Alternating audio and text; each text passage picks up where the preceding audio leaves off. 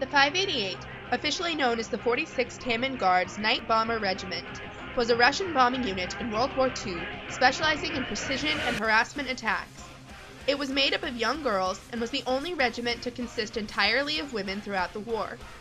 Its founder, Marina Raskova, was the first female navigator in the USSR.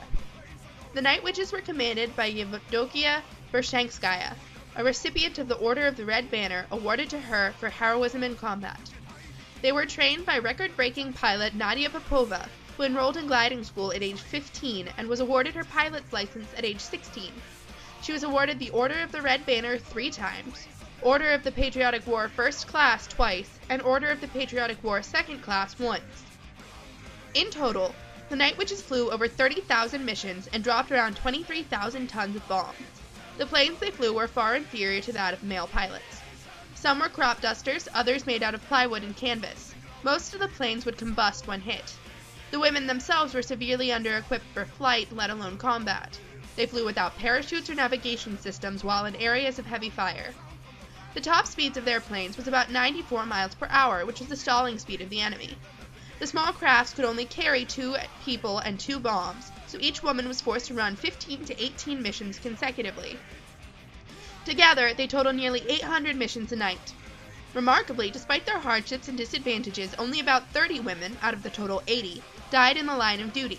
23 women won the Hero of the Soviet Union award. With Stalin's approval, Raskova also formed the 586 and the 587 regiments. They, too, were all female squads for much of the war until Major Kazarinova of the 586 and Major Raskova of the 587 were replaced by Major Gridnev and Major Markov, respectively, both of whom were men. Raskova led her regiment until her death in 1943. The name Night Witches comes from Nachthexen, a German insult. They called the 588 this for several reasons. First, because they flew at night. Second, because they were near impossible to catch. Third, because when approaching a target, the 588 would cut their noisy engines and glide. The sound was equated to that of a broomstick. And finally, because they were women.